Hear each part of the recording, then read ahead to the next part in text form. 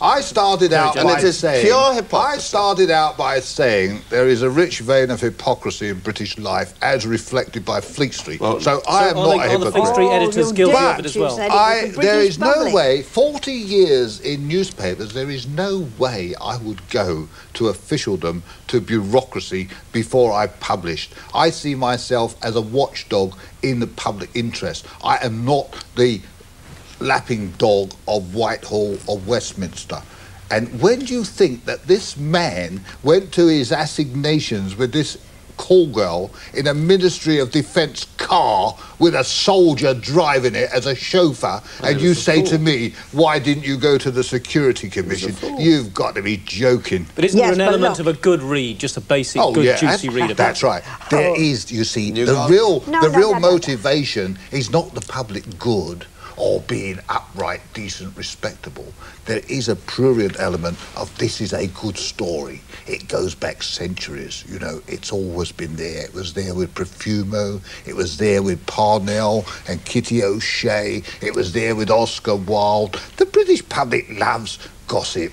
Tidbits. But why should you? No, but look. And so I, I, will concede look. that we didn't do that because we thought it was in the interest of national defence. You We did it because it was a damn good story. You Barbara really are posturing. Now, investigatory journalism is one. No, uh, you don't deserve to I win, said which it. is We, even it was a good story. I Uh, said we did it because it was a good story. Your You said it was husband. Ted May Castle, would have been the first to have recognised no, what a good because Ted story. Castle suffered considerably uh, from, he didn't believe me when I used to complain of the press manufacturing stories to, to uh, discredit people. And he said, oh, you politicians are all too sensitive about the press. And then it happened yeah. to him when he was very ill in a hospital. And I will never forgive the press.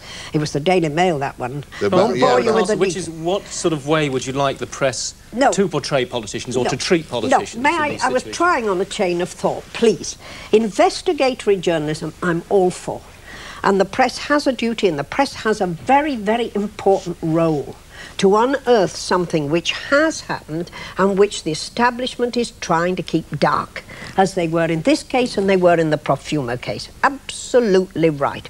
But persecution plus checkbook journalism is an entirely different thing. And I have had many examples during my long political career of the press creating stories. I remember an Bevan in the 1950s. He lived in uh, a flat just off Sloane Square, a first floor flat.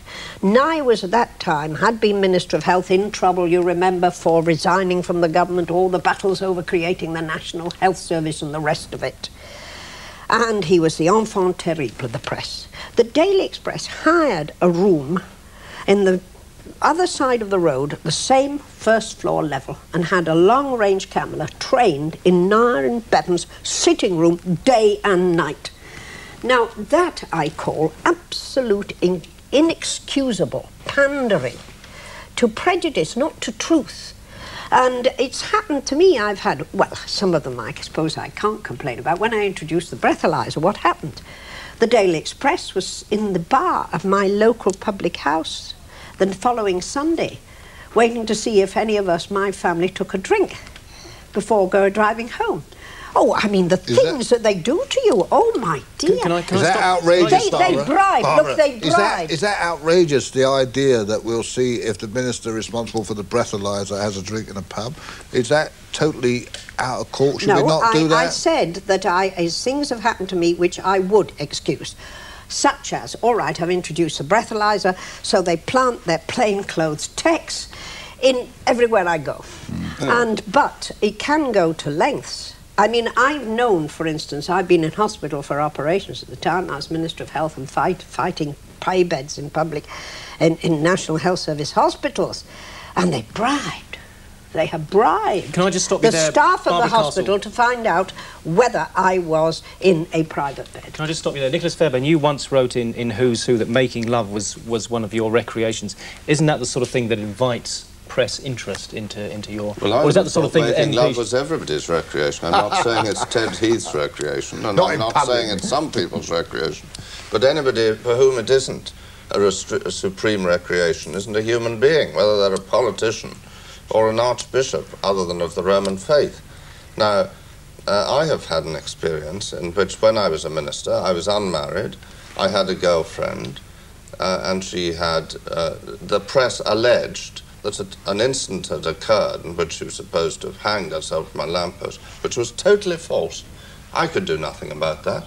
She alleged, not the press. She did not allege. It was a She was in my office alleging that. I mean, I didn't dream it. But She you, you then She printed it. alleged that she tried to kill herself You then outside printed your it house. as a result of her allegations. well, it's then. Only with qualifications because Nicholas Fairbairn is an expert in Well, it's totally. I mean, the thing is totally untrue, and she. I accept that it's and untrue. when the press then persecuted her, she said it was totally untrue. yeah, well, No, I'll, I'll accept was- that.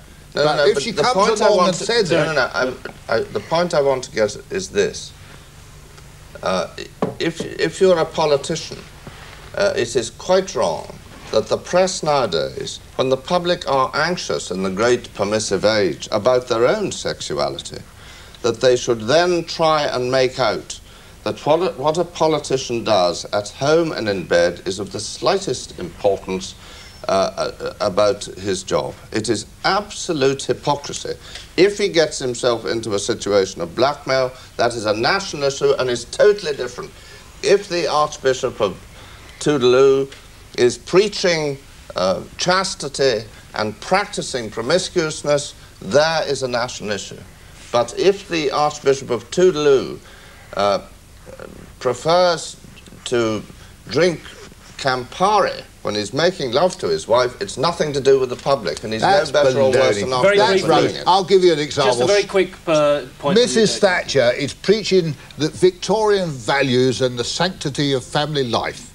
One of her Well, top what were lieutenants, Victorian values? one of her What were top Victorian lieutenants, values? Cecil Parkinson, is involved in a sexual affair with his former secretary. Well, all Sorry. Victorians were That involved in sexual rank, affairs. blatant hypocrisy, and it's up to us as newspaper men to expose No, it. all Victorians were involved in affairs, and that actually saved marriage. That's not now what Mrs. we Thatcher have- meant.